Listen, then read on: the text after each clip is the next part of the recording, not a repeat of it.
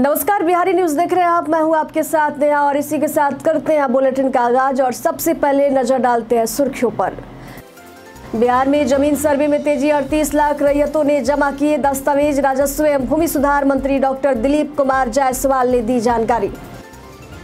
बिहार के स्कूलों में जल्द शुरू होगी 6000 से अधिक पदों पर बहाली। शिक्षा विभाग ने भेजी रिक्तियाँ। बहाल सहायक शिक्षकों की सैलरी होगी सोलह हज़ार पाँच सौ रुपए।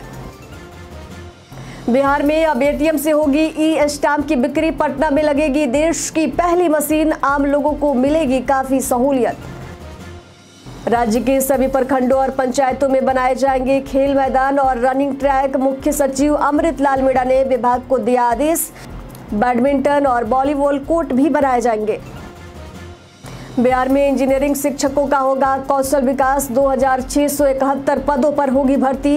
तकनीकी शिक्षा मंत्री सुमित कुमार सिंह ने दी जानकारी। अब खबरें विस्तार से।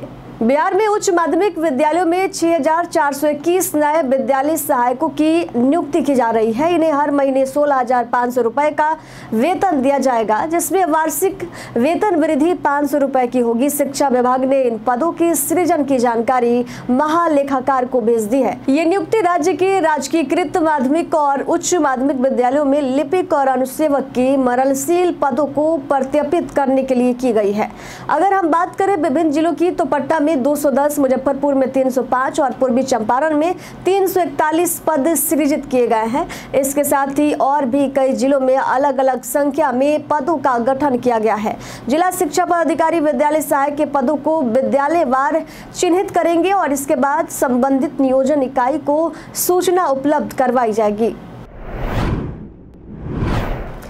बिहार में अब जल्द ही एटीएम की तरह मशीनों से ई स्टाम्प मिलेंगे, जिससे आम लोगों को सुविधा मिलेगी। ये जानकारी उत्पाद एवं मद्य निषेध विभाग के सचिव विनोद सिंह गुंजियाल ने दी। उन्होंने उन्होंने बताया कि इस मशीन को पहले राज्य मुख्यालय में टेस्टिंग के लिए लगाया जाएगा और सफल परिणामों के बाद इसे सभी निबंधन कार्यालयों और स्थानों पर भी लगा दिया जाएगा। राज्य सरकार की योजना फ़िज़िकल स्टाम्प को हटाकर पूरी तरह से ई स्टाम्प प्रणाली को लागू करने की है। इस पहल के तहत बिहार देश का पहला राज्य बनेगा, जहाँ एटीएम जैसी वेडिंग मशीनों से स्टाम्प की बिक्री शुरू होगी। वर्तमान में ये स्टाम्प की बिक्री को ऑपरेटिव बैंकों के माध्यम से की जा रही है। सचिव गुंजियाल ने बताया कि आमजन की सुविधा के लिए एक हज़ार रुपए के न्यायिक स्टाम्प की बिक्री फ्रैंकिंग मशीन के ज़रिए हो रही है। इसके अलावा हाईकोर्ट और 40 व्यवहार कोर्टों में ई कोर्ट फ़ीस भी फ्रैंकिंग मशीन से प्राप्त की जा रही है। बीते दिन बिहार में बाढ़ की स्थिति पर एक महत्वपूर्ण बैठक हुई, जिसमें आपदा प्रबंधन विभाग के अपर मुख्य सचिव प्रत्यय अमृत ने वीडियो कॉन्फ्रेंसिंग के माध्यम से गंगा नदी के किनारे स्थित जिलों के डैम के साथ समीक्षा बैठक की। बिहार के 12 जिलों, बक्सर, भोजपुर, सारण, वैशाली, पटना, समस्तीपुर, बेगूसराय, लखीसराय, मुंगेर, खगड़िया, भागलपुर और कटिहार में बाढ़ ने तेरह लाख छप्पन हज़ार लोगों को प्रभावित किया है। जिला प्रशासन ने चार सामुदायिक रसोई केंद्रों के माध्यम से रोज़ाना दो दशमलव दो पाँच लाख लोगों को भोजन उपलब्ध कराया है। अपर मुख्य सचिव ने राहत कार्यों में तेज़ी लाने और विशेषकर बच्चों, बुज़ुर्गों और गर्भवती महिलाओं की सुरक्षा पर ज़ोर दिया। बाढ़ प्रभावित क्षेत्रों में राहत काम के लिए 1350 नावें और 17 बोट एंबुलेंस का संचालन किया जा रहा है। जलस्तर में कमी आ रही है, लेकिन सतर्कता बनाए रखने के निर्देश दिए गए हैं। ब्लीचिंग पाउडर का छिड़काव और डेंगू की रोकथाम के उपायों पर भी ज़ोर दिया गया है। बिहार सरकार ग्रामीण क्षेत्रों में खेलों को बढ़ावा देने के लिए एक नई योजना पर काम कर रही है। मुख्य सचिव अमृत लाल मीणा ने महात्मा गांधी राष्ट्रीय ग्रामीण रोज़गार गारंटी अधिनियम के तहत सभी प्रखंडों और पंचायतों में खेल मैदान और रनिंग ट्रैक बनाने का आदेश दिया है।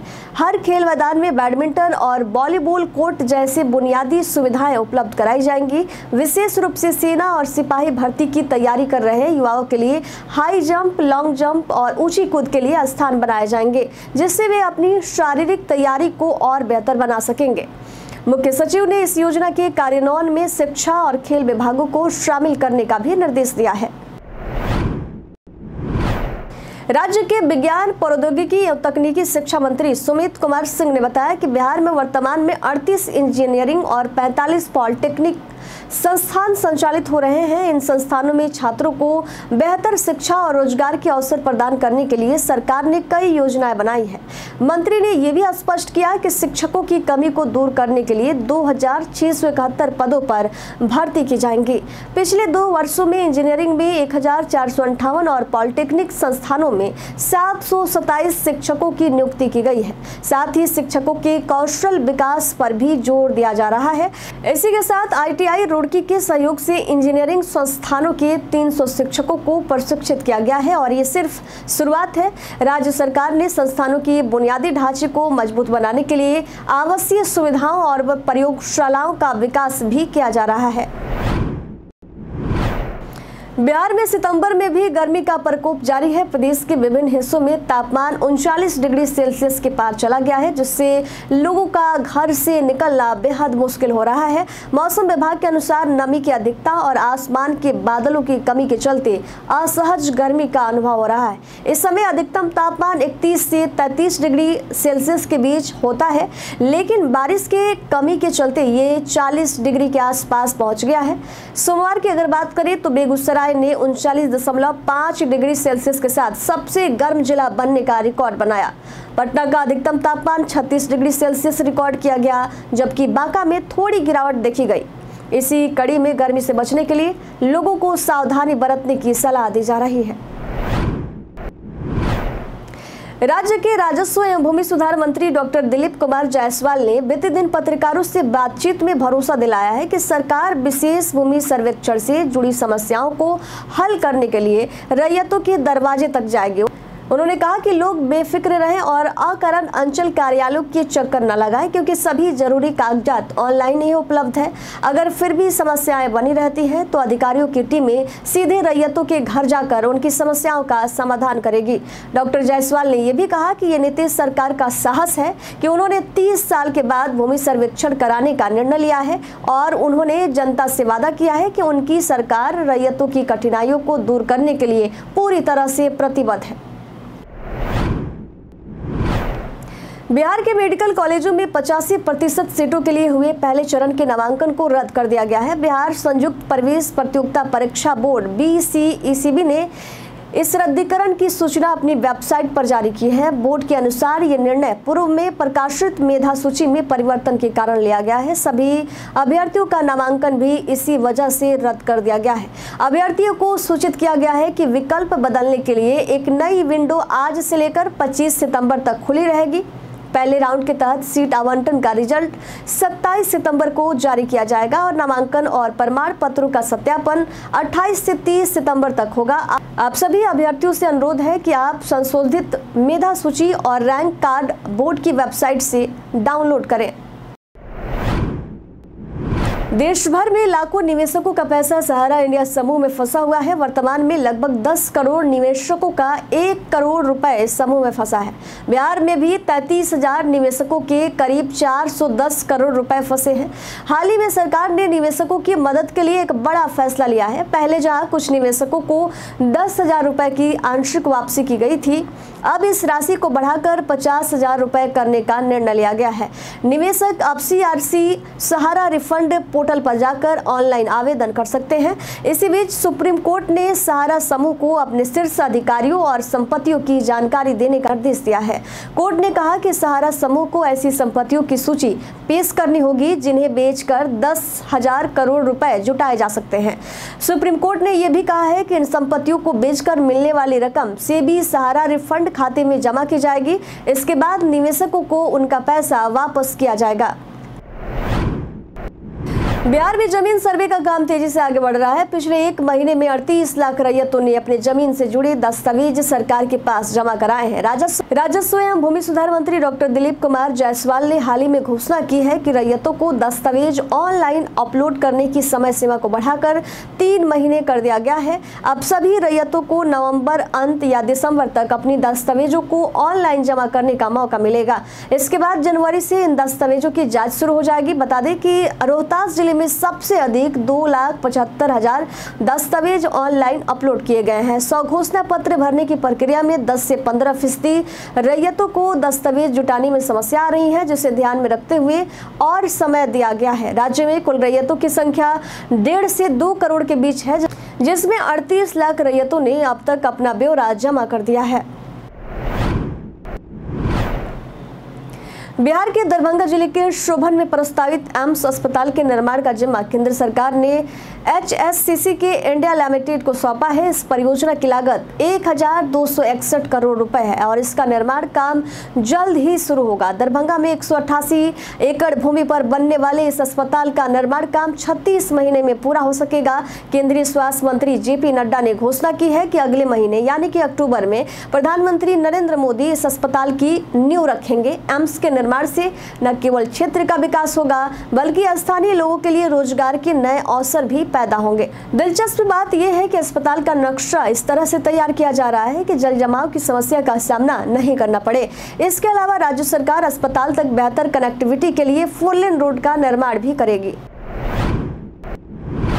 बिहार और झारखंड के बीच विभाजन के बाद से कई वित्तीय दायित्व लंबित हैं। राज्य सरकार ने सभी विभागों से रिपोर्ट मांगी है ताकि पेंशन संबंधी मामलों का समाधान हो सके। वर्ष 2000 में बिहार से झारखंड के अलग होने के बाद सरकारी कर्मचारियों और परिसंपत्तियों का बंटवारा तो हो गया, लेकिन अब भी कई वित्तीय मुद्दा अनरिसॉल्व है, खासकर पेंशन के मामले। दोनों राज्यों के बीच विवाद है, जहाँ झारखंड सरकार जनसंख्या के आधार पर अपने हिस्से से मुकर रही है। केंद्रीय गृह मंत्री मंत्रालय ने दोनों राज्यों के महालेखाकारों को वास्तविक आंकड़े जुटाने के निर्देश दिए हैं। पेंशन पेमेंट ऑर्डर की जानकारी एकत्र की जा रही है। झारखंड पर बिहार की आठ करोड़ रुपए की देनदारी है।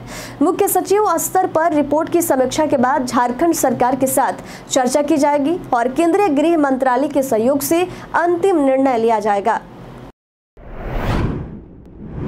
ईडी ने बिहार के आईएएस अधिकारी संजीव हंस और पूर्व विधायक गुलाब यादव के खिलाफ 2002 के धन शोधन निवारण अधिनियम के तहत परिवर्तन मामला सूचना रिपोर्ट ईसीआईआर दर्ज की है। ये कार्रवाई विशेष सतर्कता इकाई के एफआईआर के आधार पर की गई है, जिसमें कथित तौर पर अवैध संपत्ति अर्जित करने का आरोप लगाया गया है।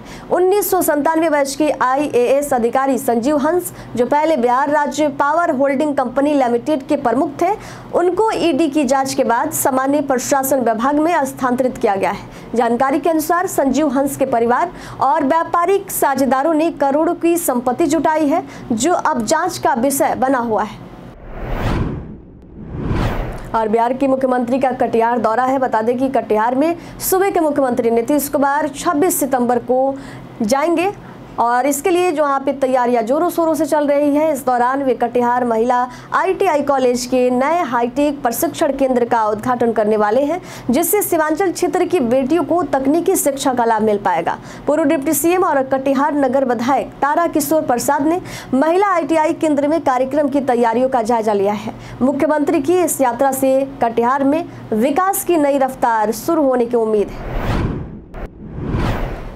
आज हम आपको याद दिलाएँगे एक ऐतिहासिक दिन का, एक ऐतिहासिक पल को 24 सितंबर 2007 आज ही के दिन जब भारत ने टी ट्वेंटी क्रिकेट में अपना पहला वर्ल्ड कप जीता था। इस टूर्नामेंट का फाइनल मुकाबला भारत और पाकिस्तान के बीच खेला गया, जो क्रिकेट प्रेमियों के लिए एक ड्रीम फाइनल था। जोहान्सबर्ग के न्यू वार्डन्स स्टेडियम में खेले गए इस रोमांचक मैच में महेंद्र सिंह धोनी की अगुवाई में टीम इंडिया ने पाकिस्तान को हराकर इतिहास रच दिया था।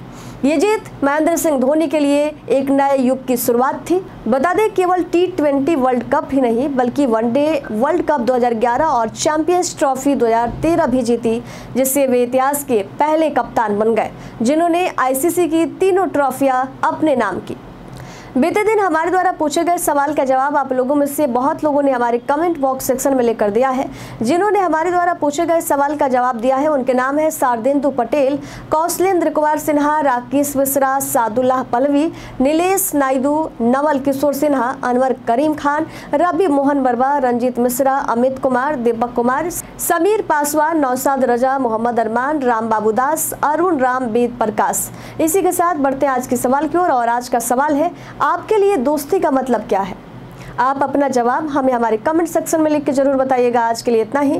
बिहार के तमाम खबरों के साथ बने रहने के लिए, देखने के लिए आप देखते रहिए बिहारी न्यूज़ और साथ ही अगर आप यूट्यूब चैनल पर देख रहे हैं तो चैनल को सब्सक्राइब करिए। और अगर आप फेसबुक पेज पर देख रहे हैं तो लाइक और फॉलो ज़रूर करें। धन्यवाद।